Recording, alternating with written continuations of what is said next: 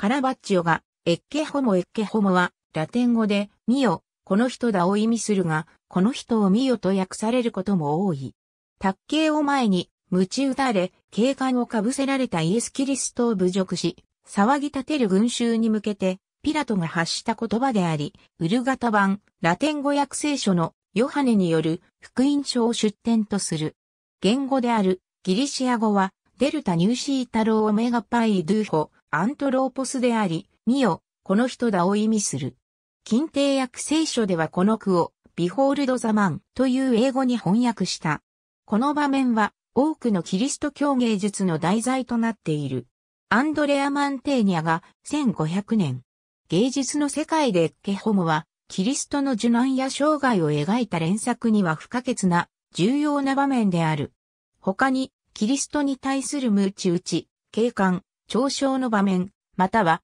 警官と嘲笑の組み合わせなどが挙げられる。通常は、ピラトとキリスト、嘲笑する群衆とエルサレムの街の部分が描写される。しかし15世紀以降のキリスト教会画はイエスの肖像だけを描くようになった。紫色のローブ、腰巻き、警官、拷問の傷、中でも警官のために傷ついた額が描かれた半身もしくは全身で表現される。同様の表現には手足についた釘痕や脇腹についた槍痕の聖痕があり、悲しみの人ともと呼ばれる。キリストの受難具が存在すれば、それはアルマクリスティと呼ばれることになる。キリストが手をももに置くなどして座っている場合は、キリストの休息、ウレールキリストと呼ばれる。これらの主題は、必ずしもはっきりと識別できるわけではない。ティツヤーノが、エッケホモ。1570年から1576年。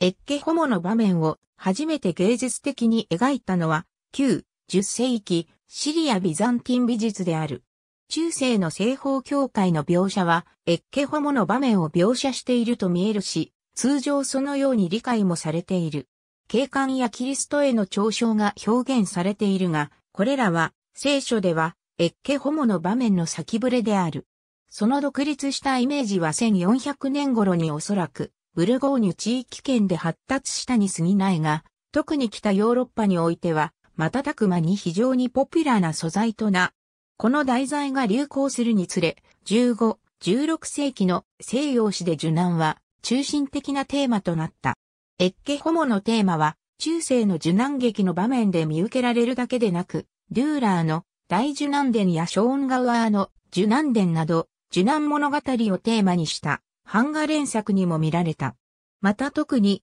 フランスにおいてはしばしば彫刻の主題にも取り上げられた。ヒエロニムスボスやハンス・ホルバインによるものなど祭壇の装飾としてもエッケホモをテーマとした作品が制作されている。受難劇のようにエッケホモの場面を視覚的に描写する作品はしばしば議論の的になる。エルサレムの人々を非常に批判的な観点から描き、おそらくは反ユダヤ主義的カリカチュアになりかねないというのである。しかしこのスタイルの芸術は、イエスに向けて起こる、群衆の内心の像を単純化、外面化したに過ぎず、いかなる人種的判断をも表すものではない。苦しむキリストが孤独の中から干渉者をじっと見つめているような描き方は中世後期に生まれた。この技法により干渉者が受難の出来事に感情移入する効果がある。同様に発展したモチーフには、悲しみの人、キリストの休息が挙げられる。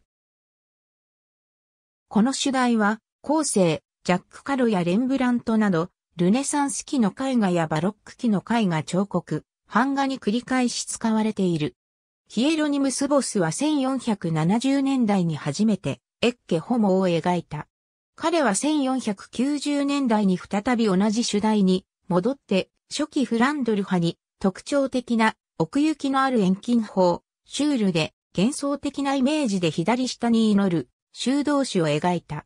1498年、アルブレヒト・デューラーは大受難伝のエッケホモでキリストの苦悩を表現した。大受難伝は彼の自画像と非常に緊密な関係を持った版画連作でエッケホモのテーマを芸術家の苦悩のメタファーとして再解釈したものである。ジェームズ・アンソールはエッケホモの主題を使って風刺的版がエッケホモで自らをキリストになぞらえてみせた。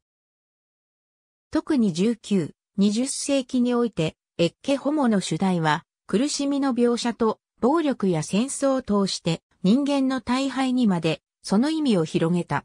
20世紀の特筆すべき作品は、ロビス・コリントのもので、群衆の視線でイエス、兵士、医師服を着たピラトを描いている。第二次世界大戦のホロコーストを経て、1948年、オットー・ディクスは、エッケホモのキリストのイメージに、重ね、有刺鉄線に囲まれた強制収容所にいる自画像を描いた。対照的に、1871年、アントニオ・シセリガのエッケホモでは、キリストとピラトの立つバルコニーが背中側から写実的に描かれ、ピラトに至っては顔も見えない。群衆は遠くの集団として描かれて、個々の区別もつかず、通常は脇役となるピラトの側近や兵士、秘書や妻に焦点が当てられている。19世紀スペインの画家エリアス・ガルシア・マルティネスによるフレスコ、エッケホモは2012年8月その修復が世界的な注目を浴びた。セシリア・ヒメネスと名乗る女性が何ら専門知識も技術も持たないで修復に取り組んだ結果、イエスの姿がケムクジャラの猿のようになってしまったのである。猿のキリストの絵は有名になり、人々が見物に押し寄せるようになった。町が入場料を設けたところ、2013年8月現在で5万ユーロ以上の寄付金が集まった。ありがとうございます。